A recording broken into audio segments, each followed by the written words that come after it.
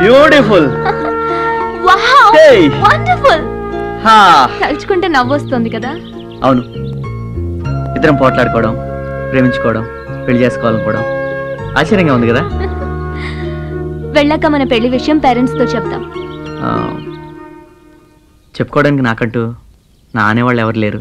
Oh I'm sorry యాక్చువల్గా నాకు problem ఉంది. అది సాల్వ్ చేసుకోవడానికి ఈ జాబ్ కోసం వచ్చాను. ఏంటా ప్రాబ్లం?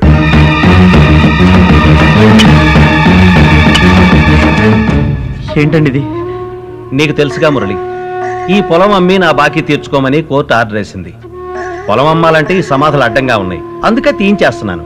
ఇవి మీకు చూడడానికి సమాధులే కావచ్చు కానీ నాకు మాత్రం దేవాలయం సార్. పైగా ఈ భూమి అంటే మా అమ్మ నాన్నకి చాలా ఇష్టం అండి. అందుకే వీటిని ఇక్కడ కట్టించాను.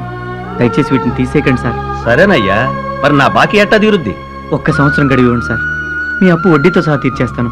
కానీ నాకు ఇప్పుడు డబ్బు చాలా అవసరం మురళి. మీ అవసరాలు తీరాలంటే ఎన్నో మార్గాలు ఉంటాయి కానీ ఇప్పుడు నేను ఈ భూమి వదిలేసుకుంటే తిరిగి జీవితంలో తెచ్చుకోలేను సార్. దయచేసి నా బాధను అర్థం చేసుకోండి. ఒక్క అవకాశం ఇవ్వండి. సరే. ఇంతగా అడుగుతున్నావు కాబట్టి నీకు ఒక్క సంవత్సరం గడువిస్తున్నా. నా బాకీ వడ్డీతో సహా తీర్చేయాలి. అమ్మ చనిపోవడం వెంటనే నాన్న చనిపోవడం ఆ బాధ తట్టుకోలేక నేను ఉన్న ఉద్యోగం కూడా వదిలేశాను. ఓకే. నాకు మా అమ్మా నాన్న లేకపోయినా మనకి మీ అమ్మ నాన్న ఉన్నారుగా వాళ్ళతో చెప్దాం. మీ అమ్మ నాన్న చనిపోయినా నీ మనసులో ఇంకా బతికే ఉన్నారు. నా తల్లికి భర్తగా నేను తండ్రి అని చెప్పుకోవడానికి ఒకడున్నాడు. అతను బతికున్నా నా మనసులో ఎప్పుడో చనిపోయాడు. అంటే? నాకు ఆరేళ్ళ వయసప్పుడే మా నాన్న చనిపోయాడు. నాకు అమ్మకి తోడుంటానని మా తాతయ్య నొప్పించి మా దూర బంధువైన సూర్యప్రకాష్ అమ్మని పెళ్ళి చేసుకున్నాడు. నాకు బాగా గుర్తు. ఆ రోజు దీపావళి.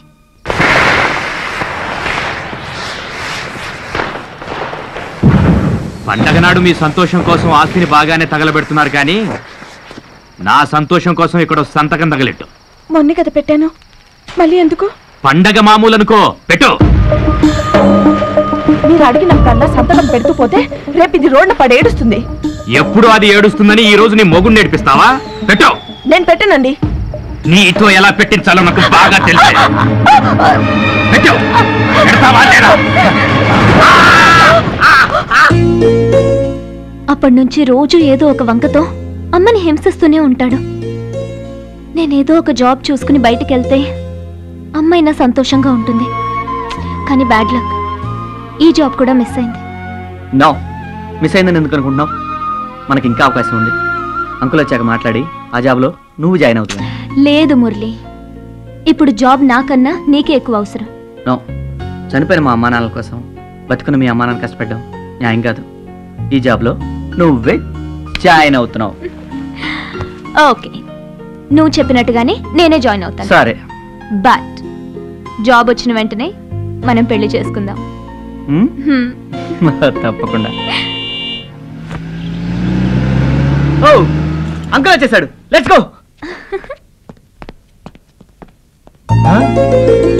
మీరేంటి ఇక్కడ ఉన్నారు అంటే ఆ రోజు మీరు మమ్మల్ని హౌస్ అరెస్ట్ చేసి వెళ్ళిపోయారు కదా? ఆ రోజు మిమ్మల్ని ఆరు గంటలకే వెళ్ళమన్నాను కదా? వెళ్దాం అనుకున్నాం. కానీ ఆ రోజు ఏం జరిగిందంటే?